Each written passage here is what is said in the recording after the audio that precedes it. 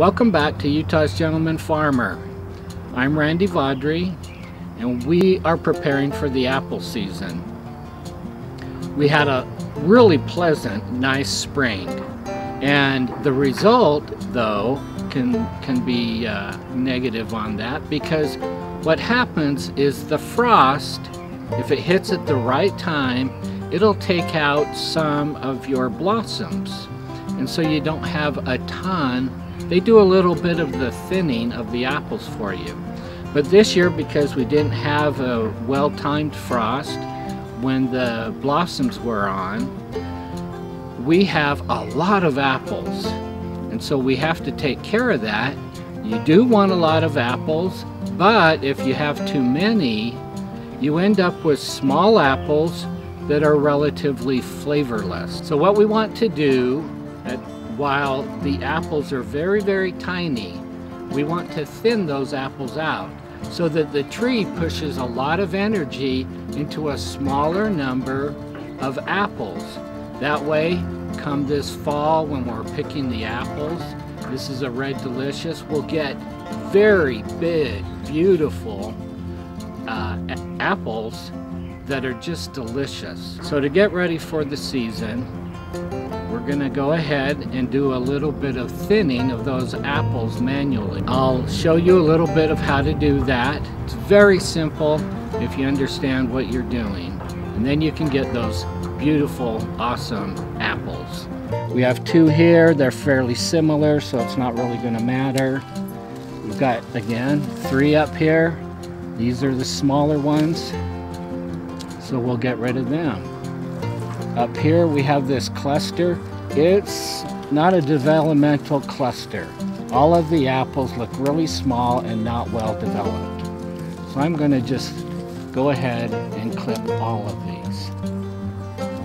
Up here we have our standard three cluster. This is the larger, better looking one, largest and better looking one. So we'll get rid of those.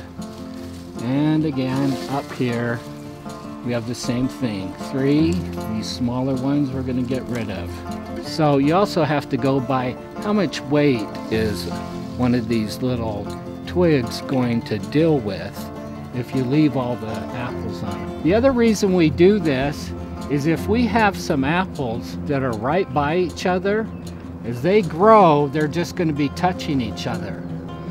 Well, the codling moth really likes to lay their eggs where two apples are touching. So you're only encouraging more codling moth problems. So you're going to want to get rid of any apple that's next to your central apple that you do want to keep. That way you're going to have a better control of the codling moth problem. I don't know about other places, but here in Utah, you have to control the codling moth problem. Now, I spray, and I don't like spraying any more than I have to to keep my apples uh, clean and worm-free. However, I follow the state agriculture's uh, website where they track the codling moths and when they're coming out. And so I only spray uh, when they tell me to, which dramatically cuts back the number of times I have to spray. If you followed the instructions on the spray uh, canister, it would tell you to spray every seven days. But I don't spray anywhere near that because I follow the state website. I'm sure that you in your state have a website like that because codling moths come out in generations. And so they track those generations for us. They tell us when the generations are starting, and so we only spray at the peak of the generations or at the beginning to the peak. That's a wonderful way to lessen the amount of spray you put down. Now there are some other ways. You can bag your apples. I can't bag all those. Plus, it's a very tall tree. I wouldn't be able to bag most. However, if I wanted to, I could bag only the ones on the lower end. So why do we do all this? Well, in our previous segments, you'll notice that no one said they were doing this to save money. Now, if you're fortunate, you can do this and save money. Apples can be fairly expensive, especially later in the year.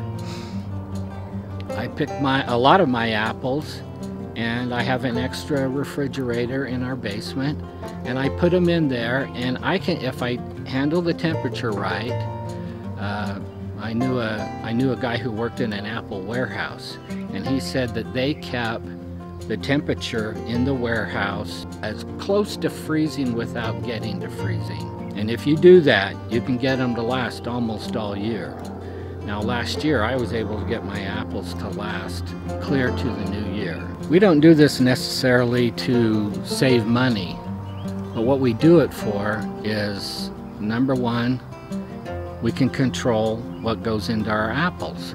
A lot of people would prefer not to use a pesticide. There are some what we'd call green pesticides that are based off of soaps and things like that. I haven't found them to be very effective. I've also used traps, pheromone traps that are supposed to capture the codling moth um, so that they don't lay their eggs on the apples. I just haven't found those to be very effective. So I do use pesticide. Um, I, it's a chemical pesticide, but I think it's very effective. And if you stop using it well in advance, wash your apples, when you pick them and then wash them again before you eat them, you're pretty safe. Again, we're choosing to control what goes into our food. And that everyone gets to make their decision when they're doing stuff like this. Uh, you can call it homesteading, you can call it uh, gentleman farmer, but this is the key, is that you get to control your food. So I would like to end this segment uh, with a little bit of video showing my son processing apples. He makes a product that's really nice. It's basically just an apple chip and it's really delicious. It's simple. It's a really slick way of doing it and it'll be a great video. This little dilly, it's uh, it slices, it peels, and it also cores the apples.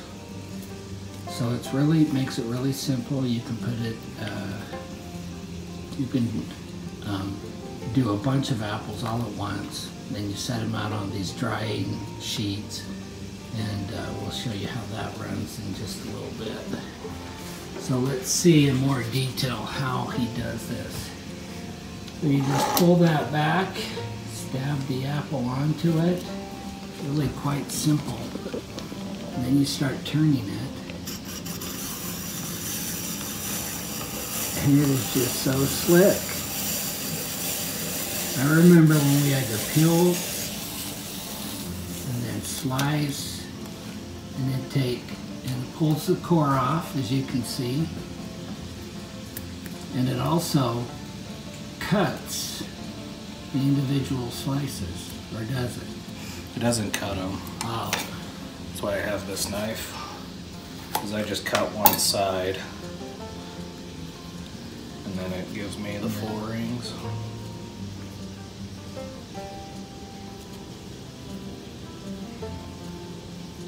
and so we have this dryer here that has how many layers? Four. Four layers. We're making short work of this, or I should say Randall is making short work of this. This would normally, before these core and uh, peelers, this would be an all-day ordeal, just trying to get all these apples sliced, peeled and sliced. So we'll watch that again.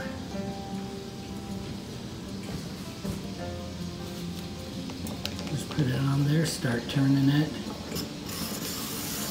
Doesn't have to be perfectly centered because that peeler is spring loaded. So it just goes with the pressure. Takes that core off.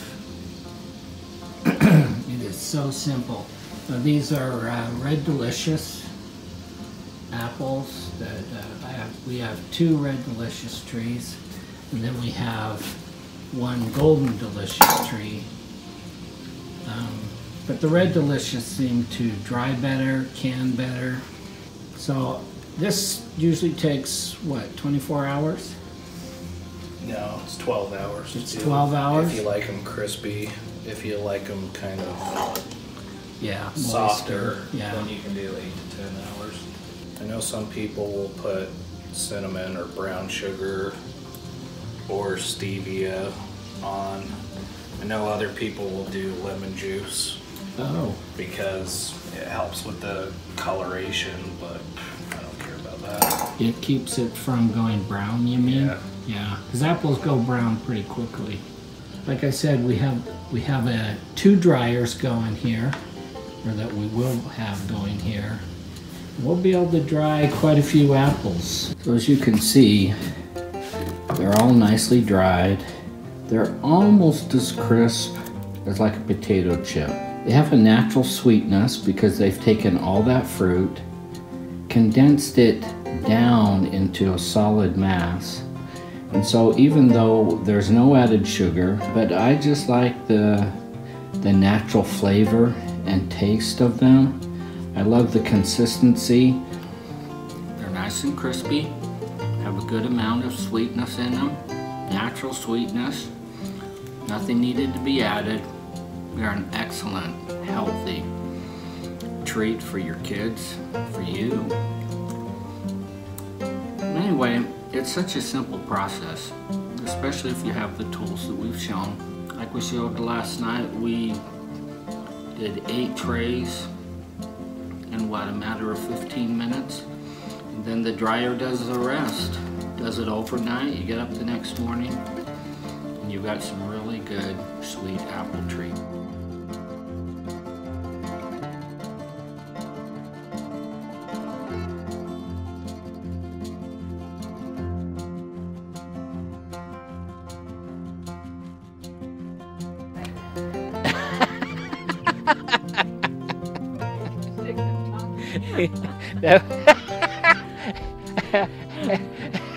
I'm gonna keep that clip and put it at the end. You know I'm boring you, but when the camera falls asleep, pretty bad. Okay.